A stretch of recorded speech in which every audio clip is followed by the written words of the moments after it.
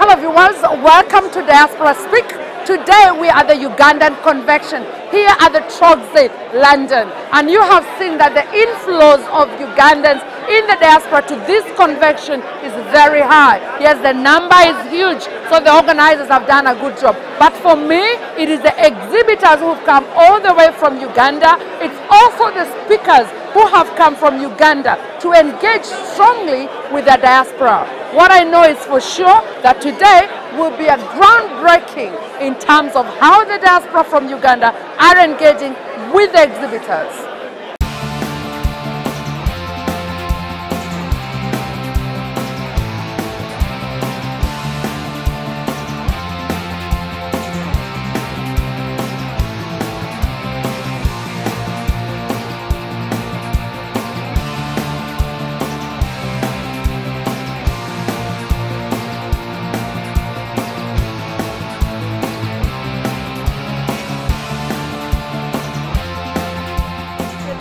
The Uganda Convention, and always we meet where East Africans are meeting.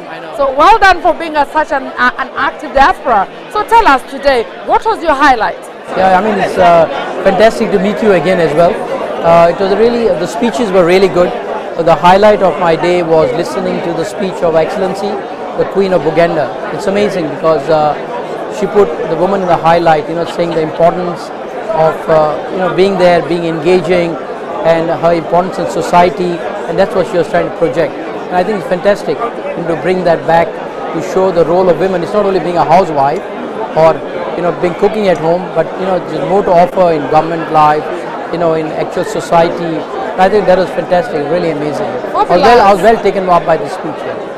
Fabulous. I'm, I'm, I'm just listening and thinking that, you know, not many people are now pushing the women, you know, or, or just saying, because Uganda has got a lot of women, but they do have that motherly touch. Yeah, yeah. So now we want to see a lot of entrepreneurs from the women community. But let's talk about you as a Ugandan diaspora. What do you think is needed to actually push this Uganda brand in the UK? I think um, a lot of, uh, many of us, I was born in Uganda, in East Africa, and then I came here many years ago.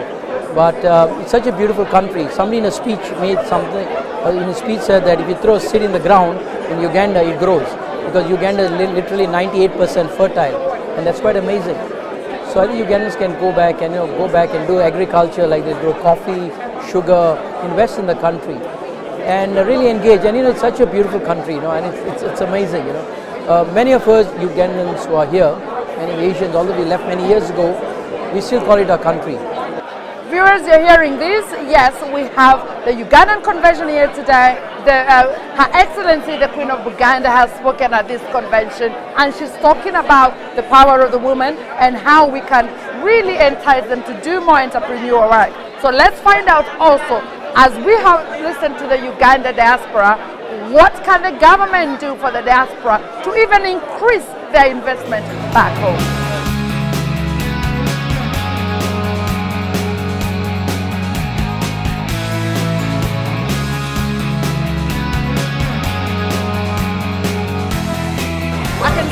Together we can make the difference. So you're here for the diaspora. What are you bringing for the Ugandan diaspora in the UK? Well, what, what we're doing is seeking to introduce a road safety program into Uganda, but we need the support of everyone. And uh, one of the things that the diaspora can do is actually to come to our website or sign up to say we're a supporter and they can be sending messages clearly back through their networks within Uganda to get the message across. I'm formerly the road safety minister in the UK uh, in a previous government and I've been very keen to see that we stop some of the carnage that is happening on the roads in Africa, in Uganda in particular, because we can avoid many of those deaths and serious injuries through actually getting messages across and just thinking twice before speeding, before having a drink, before using our mobile phones in the car. So that's what we're about today and why we're here is to launch the RTS Pro Academy, which is our uh, family of initiatives to tackle road safety. I mean, I am so much impressed by saying this because African countries, I come from Kenya, and the problem with the road safety is as huge there as well as you speak from Uganda. So is it a need that took you there or is it a passion? What made you to go to Uganda to do the road safety program? As a former road safety minister here in the UK, I attended a conference in Moscow back in 2009 which led to the UN General Assembly adopting a decade of action on road safety. And that came into being in 2011 we need to make sure that we get real results out of that, that we start to tackle the issues that are there. And it's not one one one thing fits fits all. It don't it won't change overnight. What will take time to build it through, and that's why it's important the initiatives we're taking through uh, using technology through you know, using the mobile phones that so many people have today is what we're doing is to make sure that built into that are incentives for people to keep going back to pick up the messages to see that you know drink driving's not good speeding's not good you know taking steps all the time to remind them so basically what you're doing is a campaign for the community yeah yeah no, absolutely and what we've done we've I mean whilst I've had conversations with the Prime Minister's office, with obviously the Transport Ministry and the Department of Health uh, in Uganda and various other agencies. We haven't looked for money. What we've done is done this on a commercial backing and very shortly we'll be able to announce who those commercial backers are. But we recognise the pressures on government funds to deliver on so many fronts are great, but this is something that can really help across Uganda, all people in Uganda, and to get safer roads, which leads to obviously people living, people not dying, not being injured, but also encourages business to think, okay, investing in Uganda, setting up means that you've got safe transport corridors, effective and efficient. That's important to business as well. Wow, absolutely. Viewers, you've heard the use of technology has changed. And I'm telling you that the road safety, especially in Africa, is such a huge problem. You know somebody, I'm sure, because we all do, who has died unnecessarily on these roads. So if there's any way you can do to join a campaign like this to make roads safe in Uganda, in Africa, in Kenya, wherever you are, would you not join in? So I think it's about time we both, all of us, take responsibility of what's happening in Africa.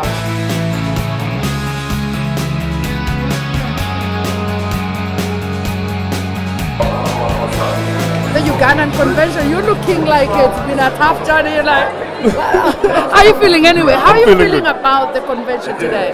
No, it's, um, it's been an eye-opening um, convention. It's the first time I've come to it, so yeah.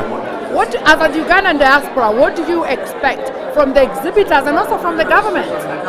Which government? The Ugandan government? Yes. Or the UK government? The Ugandan government. Um, I don't know. I think I just expect more engagement with um, the people in the diaspora. I don't know what they know about us, really. So it's an interesting time now just to find out what happens.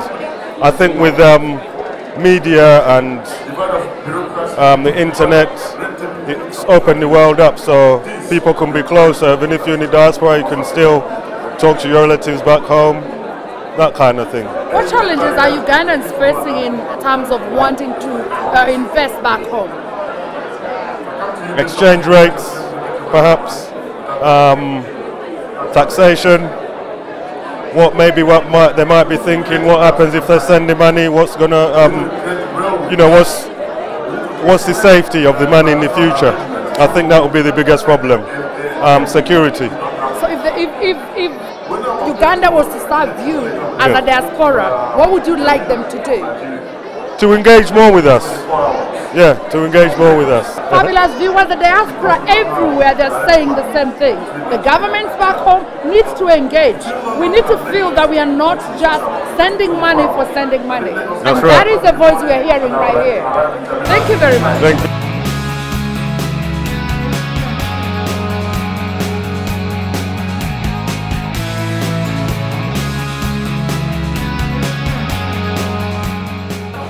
Most of us in the diaspora are always looking for our dream homes back home because our pensions it has to be back in Africa. That is where home is. So have you planned where your home is going to be? Let's speak to those who are exhibiting today at the Ugandan Convention. Tell us about uh, who you are and why you're here in the UK. Well, we're developers in Kampala. We're building uh, condominium apartments and we're aiming at the diaspora population as well as local Ugandans. Um, the development's called Jacana Heights. It's on one of the highest hills in Kampala overlooking Lake Victoria. So very attractive apartments and we're finishing them to the same standards as people expect in the UK and that really does appeal to diasporans here. Most of us in the diaspora are just worried that some of those flats or, or, houses, when they come up, they are way too expensive. How do you make sure the diaspora can afford it? Is there a way that you make it possible for them to pay over time? How do they engage? Well, we certainly want to do that. And uh, that was really the reason I went over to Uganda was to uh, build houses in that range that people could afford uh, for the emerging middle class. This particular piece of land is uh, a very unusual plot. It's right on top of one of the hills. It's a very expensive piece of land, and we've built apartments which match that quality. So these are top end apartments, um, so only affordable for certain members of the diaspora. Fabulous, fabulous. And, and finally, you know, uh, we're talking about. Uh, in uh, terms of security. Diaspora Dream Homes, they have to have security. What's your plan on how you're going to secure the place for the diaspora? Well, it's a, it's a gated uh, complex, so we've got 24 hour security with uh, boundary walls, with lighting and CCTV. So we've got everything covered in terms of security, really. Fabulous viewers, if you've enjoyed your life in the UK and you've worked very well, you so much deserve to go and rest back home somewhere that you can enjoy. And as of here, we've got dream homes right here, Jacana Heights, working very well to make sure you're well catered for.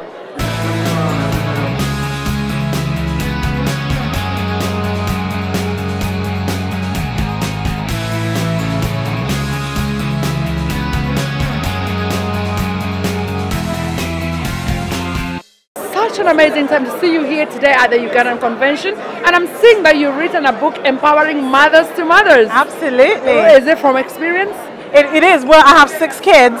So yeah, experience. Yeah, I have a lot of that. But also, I trained and worked as a sleep consultant and as a maternity nurse. And the idea of the book came from, I come from a family of six. My mom has six of us.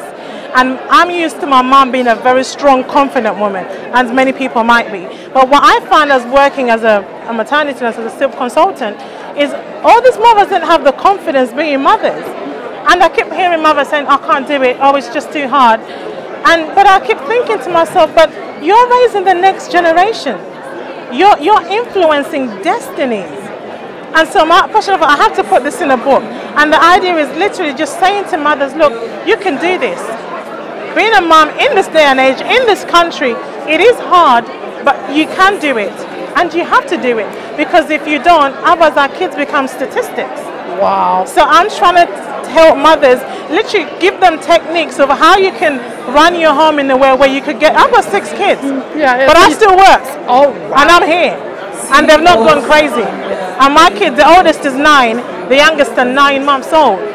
So just teaching, giving women and mothers techniques of how you can go by through your daily life and still be able to do the things you want to do. But most importantly, children from the age of zero up until seven, that gives you the opportunity to begin to input, build the foundation. But if you neglect the children at that age, because when they get to nine, my son now reasons. Yes. You yes, say, oh, can yes. you do that? I say, well, no, because. Yes. So, but if you build it in from zero to seven, You've already, you know what they say, train a child in the way they should go, and when they grow up, they will not depart from it. Well, viewers, you've had her. she can talk, and she has got the word, and we know that issues of parenthood right here in the diaspora is a topic that is so huge, we cannot exhaust it today. So we're going to catch up with Kitaka later on to talk more on how we in the diaspora can empower each other, how the women can feel so much empowered to be the best mothers right here, because you know, schools are saying our children do need a lot more than we're giving right now.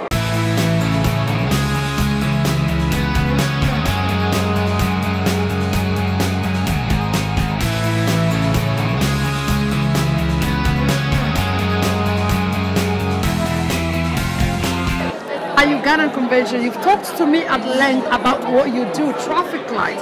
So, I mean, I was still asking myself the same question. What does traffic light have to do with the diaspora conference here for the Ugandans? Uh, for the Ugandans, actually, it's not only to do with Ugandans, but most of the African countries. Uh, we manufacture solar traffic lights, which can be used anywhere in Africa or anywhere in the world. You don't have to have a supply from the main grid electricity, and you actually save lives. So really, we are here for health and safety for our people uh, back in Africa and for our families in the UK. Because if you lose someone home, you've lost part of your family. Well, I mean, it's a solar traffic lights. Yes. You know, how well is it going in terms of being adopted by the Ugandan government on the road?